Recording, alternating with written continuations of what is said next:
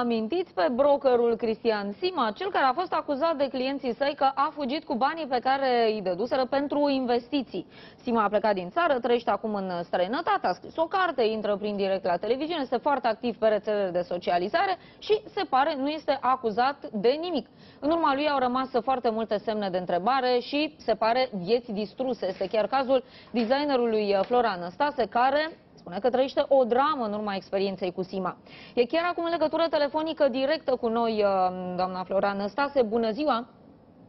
Bună ziua! Bună ziua dumneavoastră și invitațiilor și telespectatorilor dumneavoastră. Care e povestea? De unde a început? Ați avut încredere în uh, brokerul Cristian Sima? Ce s-a întâmplat? Uh, domnul Sima a fost o persoană extrem de mediatizată, și în presă, și în televiziune, și în uh, activitățile mondene. Era, avea o firmă de brokeraj din 97, pusese vicepreședintele bursei, de, de, bursei din București și urma să devină președintele bursei din Sibiu, ceea ce a și devenit. Deci nu era o persoană necunoscută sau uh, să te gândești că te adresai unui necunoscător. Uh, sfaturile dumnealui mergeau până la a fi sfaturi date președinției, uh, sfaturi date mediului de afaceri, sfaturi date mediului economic. Așa am ajuns la domnul Sima. Uh, am purtat cu dânsul întâi o discuție la sediul VBS, singur sediu VBS, care de fapt a dovedit că e prima înșelătorie pentru că era VBS România și VBS Holding.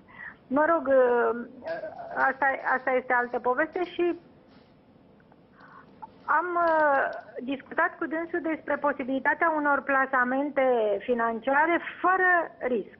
În aceste condiții, dânsul mi-a explicat că singurul plasament de acest gen poate să fie arbitrajul pe bază de fus orar în care nu ai cum să pierzi, dar nici nu poți să câștigi foarte mult.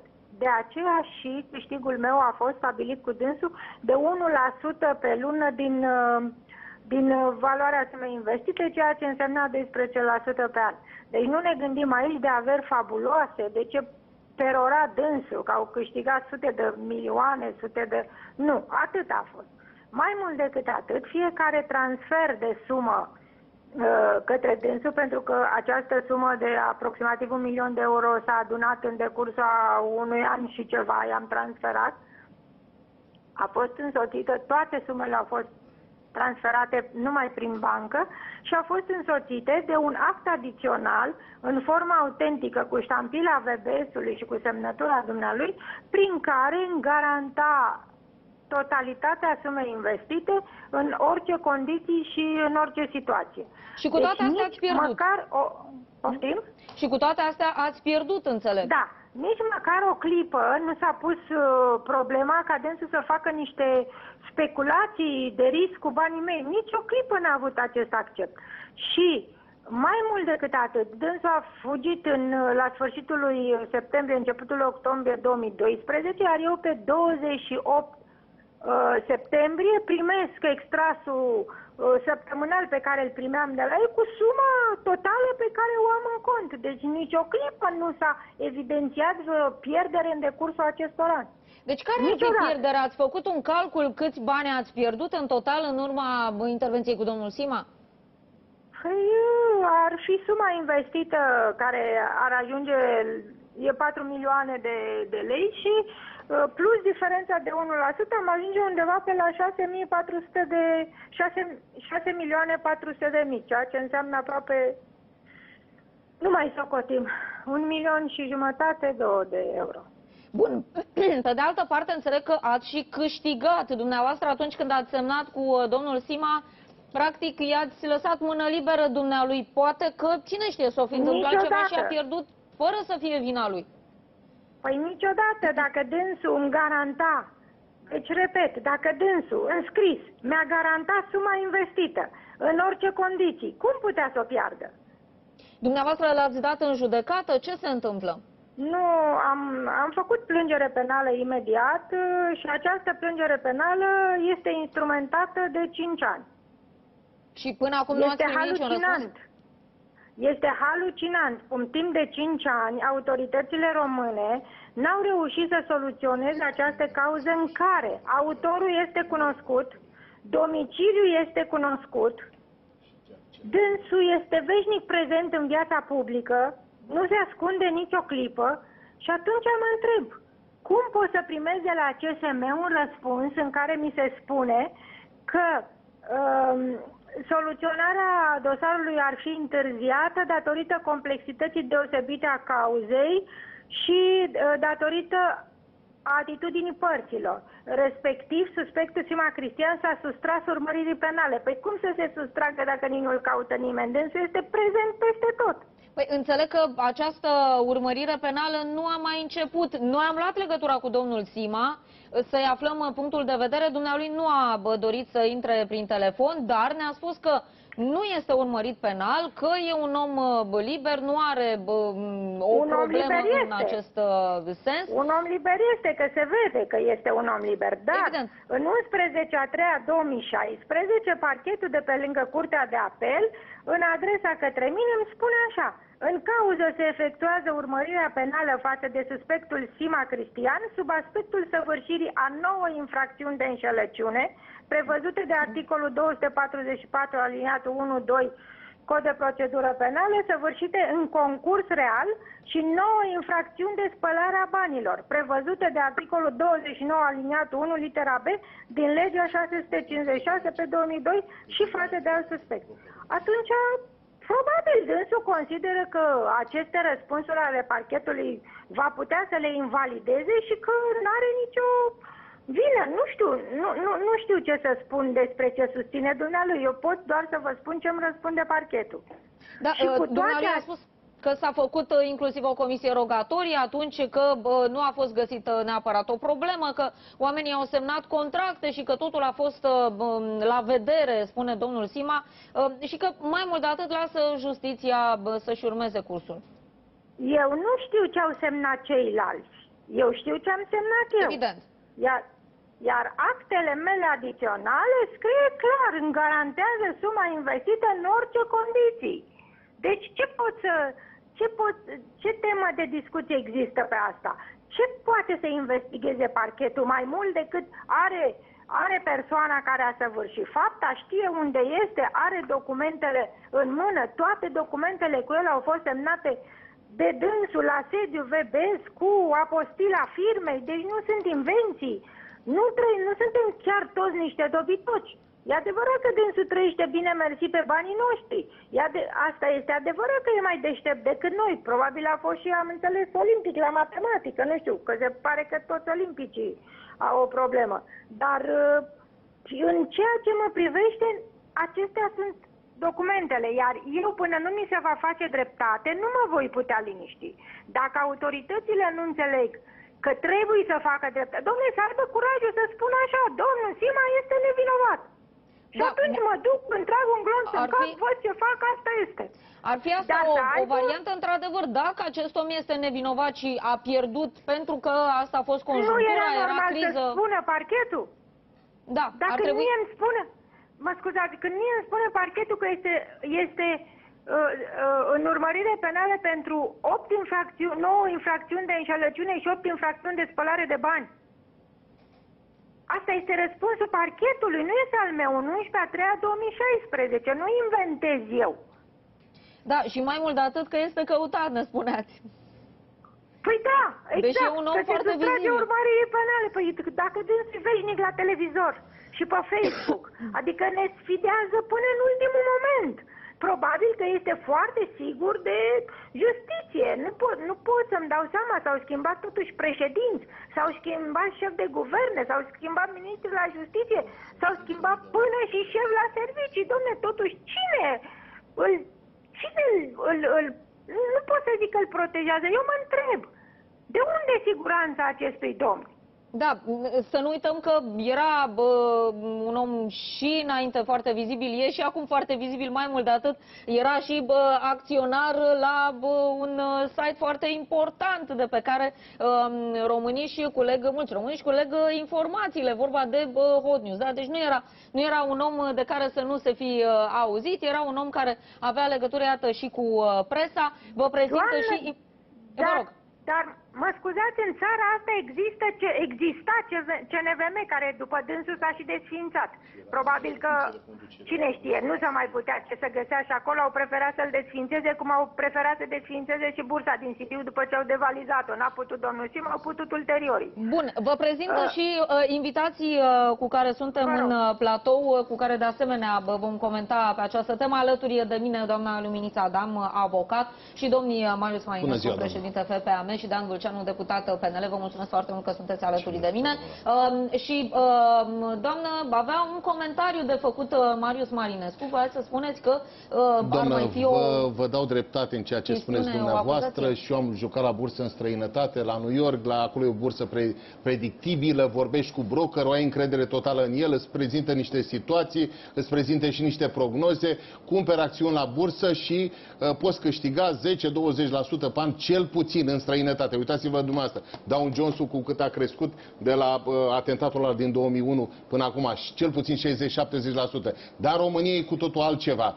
Uh, vedeți dumneavoastră, ai încredere în bursă, uh, ai încredere în niște oameni, lucrezi cu uh, o firmă de brokeraj, lucrezi cu un broker cum ați lucrat și dumneavoastră cu acest domn Sima și eu cred că trebuie să chemați în garanție și firma de brokeraj trebuie să vă adresați, deci în garanție, să vă dea banii, să vă adresați și CNVM-ului, fiindcă aici e o mare problemă. Vedeți dumneavoastră, e o mare păcăleală. În România pierd banii zeci de mii de oameni, cum ați pierdut dumneavoastră, am pierdut și eu, doamnă. Am cumpărat acțiuni la bursă, împreună cu soția mea, în urmă cu câ- câțiva ani, la, am cumpărat niște acțiuni la sifuri și care este șmecheria uh, celor care conduc aceste sifuri și celorlalte uh, case de brokeraj. Deci, la un moment dat, își măresc capitalul. Tu ai cumpărat niște acțiuni, ție îți dă o mică valoare la mărirea capitalului, mică de tot, și uh, ei își măresc foarte mult capitalul și în felul ăsta, din jocul ăsta, niște băieți deștepți câștigă niște sume imense. Eu după câțiva ani de zile, de, după ce am cumpărat acțiunile la aceste sifuri, am pierdut,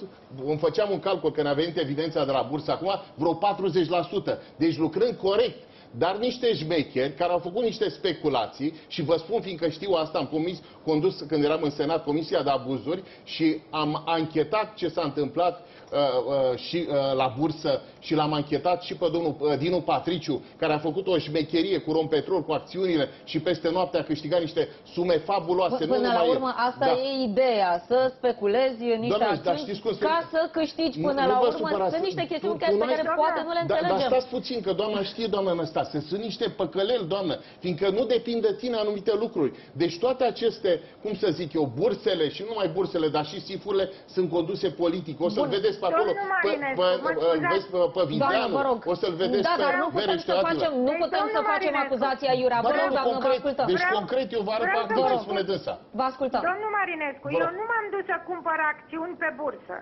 Eu m-am dus la domnul Sima, la VBS România și VBS Holding, cu niște sume de bani care mi-au fost garantate în scris.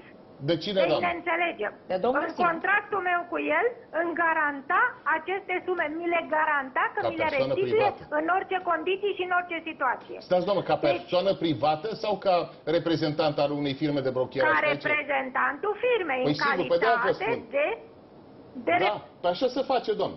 Deci, uh, dumneavoastră, ca, ca și mine, lucrați cu un broker. Dumneavoastră lucrați cu Sima, eu lucram cu, al, cu alți brokeri. Și aveai încredere în totală în acel broker. Deci, dumneavoastră puteți să, să-i faceți plângere penală și am înțeles că e un dosar pe lor și pentru abuz de încredere. Că dânsul cumpăra numele dumneavoastră și ați văzut când cumperi niște acțiuni, te și Nu, dar înregistrează. vreau Ce-i să vă spui? spun, Da. vreau să vă spun, punct. Eu nu, eu, pe mine nu mă interesează ce a făcut cu banii. Putea să-i pierdă, să-i mănânce, să se joace cu ei. El mi-a garantat că în momentul în care eu îi cer, mi-i dă înapoi. Deci ce a făcut cu ei nu Dar mă și cu ce privește. v-a garantat, doamnă? E foarte important. Poftim? Cu un Cu ceva, contract. da, garantat. Printr-un contract. Păi da, contractul și deci era un numele unei companii de brokeraj sau un numele cui era? Fi- Firma VBS Holding îmi garantează restituirea integrală a sumei în orice condiții la șapte zile după ce eu o cer. Aia e în regulă. Și CNVM-ul ce a spus? Păi Vis-a-vis de ce? CNVM-ul, ce să mai spună CNVM-ul? Nu știți că s-a desființat după cazul Sima? Că el avea Păi cum a obligație putut? să controleze toată activitatea Păi bancară. ce să controleze domnul Marinescu când omul ăsta a scos sute de milioane de euro prin nasul băncii naționale, prin nasul CNVM-ului? Cum să te gândești Deci e că vorba de o firmă- complicitate mare ce spuneți dumneavoastră, cu CNVM-ul, cu Banca Națională și cred ce spuneți, doamnă. Da, dar Cred, noi, sunt convins de lucrul noi, nu putem, noi nu putem să ne bă, să tragem o concluzie în momentul acesta. Înțeleg că e un uh, dosar în curs, e o cercetare. Până la urmă, judecătorii ar trebui să decidă ce s-a întâmplat acolo și dacă De acord, procurorii dar au până la dovezi, judecători, să le până la folosească. judecători ar trebui procurorii să, să finalizeze această anchetă. Ori procurorii o țin în speranța că se va prescrie faptele. Nu pot să-mi dau seama. sperăm că nu e Cinci ani- așa. În mod normal nu ar trebui să fie așa. Ba, Eu cred că așa este, pentru că înșelăciunea are ca maximum de pedapsă 3 ani și dacă trece o dată și jumătate Deci de patru ani, maximul jumătate, cinci ani. pedepsei, se prescrie fapta, indiferent câte întreruperi au avut loc pe parcursul cercetării respectiv a procesului penal. Deci eu am convingerea că dacă lucrurile stau așa cu adevărat, se va prescrie fapta. În momentul în care vor ajunge în instanță, se va constata, da, este vinovat, dar pentru că între timp a, devenit, a intervenit prescripția, nu mai poate fi condamnat penal. Eu personal am avut o asemenea situație la judecătoria Bacău, unde au ținut fix un dosar până când s-a prescris. După ce s-a prescris, mi-au spus, da, exact, fapta există, dar pentru că a intervenit prescripția, mulțumim, la revedere. Da, asta e, Da, bă, e poate- și mai dureros poate în cazul spălarea ăsta. de bani. Poate spălarea de bani să Da, mă spălarea de termenul bani, Mai aveți sunt dreptate, prescripție. spălarea de bani are Sancțiuni un până la termen, un termen mai lung, Mai dar e lung. și mult mai complicat de a uh, dovedi. Dumneavoastră aveți categoric și posibilitatea să vă adresați unei instanțe civile până atunci. Dar e foarte important, doamnă, să cereți și niște, ga- să cereți procurorilor să asigură niște garanții vis-a-vis de recuperarea banilor dumneavoastră. Că vă treziți că mâine, poi mâine, firma Doamnă asta de bro- Marinescu, brokeraj nu după mai cinci există ani- Vă rog. și așa mai departe. Vă rog. Ăsta și-a vândut tot. După 5 ani, ce ga dacă procurorii n-au instituit sechestrul la momentul respectiv? Acum ce să mai găsească? Da, că poate nu... Da, nici dar nu dacă găsit el o a recupereze semnat, îmi cer tot. scuze că intervin, dacă el a semnat în numele unei societăți comerciale, societatea este cea care răspunde, nu el personal, pentru că el la momentul acela ar putea să fie doar un angajat. Deci cea care răspunde este societatea Firma și de societatea trebuie adusă în această poveste, pentru că până la urmă persoana respectivă era doar un reprezentant. Și nu numai societatea, Dar, dar, și cei de la CNVM, băi, fiindcă înțeleg- ei au înțeleg obligați de să-i la- controleze. Înțeleg de doamnă. la doamna Anastasia că societatea practic nu mai există, adică era Dar vorba cineva de... gira și societăți. Bursa. Deci societățile astea de Mai Mai brokeraj... puțin, domnul da. Marinescu. Deci, Deci e... societatea VBS România s-a dizolvat între timp. Eu am, am A preluat cineva obținut patrimoniul. intrarea în insolvență în fond și am pierdut-o în apel pentru că așa a trebuit. Da. Și uh, societatea VBS România s-a dizolvat. A mai rămas holdingul care avea Vedeți. domiciliu în insulele Virgine, în care nu știu dacă procurorii au găsit vreo cutie poștală, ceva, nu știu, nu pot să-mi dau seama. Dar domnul Sima personal a ieșit pe post și a spus că procurorii să nu mai caute arhiva VBS Holding pentru că este la dânsul, a plecat cu toată arhiva și că în momentul în care va, îl vor chema, nu știu, o să pună la dispoziție. Au plecat Vă cu mulțumesc altceva și foarte da. mult, doamnă, pentru uh, disponibilitatea dumneavoastră, pentru că uh, ne-ați răspuns la aceste întrebări. Sper să se bă, rezolve. E bă, până la urmă o pierdere bă, imensă. Sunt foarte multe chestiuni nelămurite. Poate a fost uh, pur și simplu ghinionul oamenilor ăstora care au avut încredere bă, într-o persoană care între timp nu mai poate fi contactată, nu? Că așa par lucrurile. Domnul Sima, cine știe ce a făcut, poate și el e nevinovat. Cine știe ce s-a fi întâmplat Da, acolo? dar în situația Și- asta greu de recuperat E greu să banii, acuzi. pentru că dacă Dar și să domnul recuperezi, exact. respectiv nu mai are niciun bun, dacă societatea este falimentară, îți rămâne doar satisfacția, să zic așa, morală, că cineva a fost condamnat penal, dar tu cu prejudiciu ai rămas nerecuperat, asta Da. în mod Dar clar. cineva a preluat patrimoniul acelei societăți, acele firme de Odată brokeraj. ce a intrat în și- insolvență, nu a preluat nimeni. Stați, doamnă, Insolvența nu, e nu, insolvență, stați, stați, s-a stați, bun, pronunțat bun, și haideți. punct. CNVM-ul avea obligația să controleze tot timpul și să garanteze toate activitățile cele de la Noi bursă. vorbim de ce s-a Deci- întâmplat, nu de ce obligații ipotetice ar putea să aibă. Deci, Doamne, dar Păi încă stați mai e un puțin, punct de- aici deci foarte există clar. posibilitatea asta tot până la urmă, sunt drepte împotriva cuiva. Și a mai, mai, mai, CNVM-ului mai e special. un lucru aici care bă, rămâne, din păcate, bă, neclar. De ce procurorii nu pot să dea un răspuns uh, pentru această întrebare foarte simplă? Ce e cu dosarul respectiv? Domnul Sima mi-a spus că nu a fost uh, mă, trimis mai departe, că nu este urmărit penal, nu a fost trimis în judecată. Noi de cazul ăsta vorbim de acum, hă, hă, niște ani buni.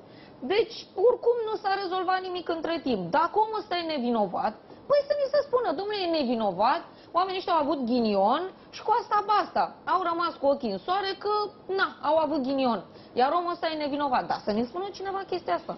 Nu, deocamdată ați văzut procedural, încă sunt, uh, dosarul este în fază de cercetare la parchet. De Până câți când ani? parchetul de 5 de 6 și va mai sta până se vedem, prescrie. păi vedem dosare Și în care da. lucrurile merg pac, pac, pac, pe, repede înainte. Acum de ce depinde în altele de nu interesele e de care nicio- parte Doamnă. sunt și cât de accelerat e procesul ăsta. Domnule Vâlceanu, Da. dumneavoastră ca spun- reprezentant al unui partid care susține bă, acțiunile DNA-ului, bine, aici nu știu dacă Nu e, Nu DNA-ul, cred că e cred vorba au de DNA, dar eu vreau să parchetul vă general. spun că, că e complicat pentru că în momentul în care dai banii brokerului, nu face ce vrea cu ei.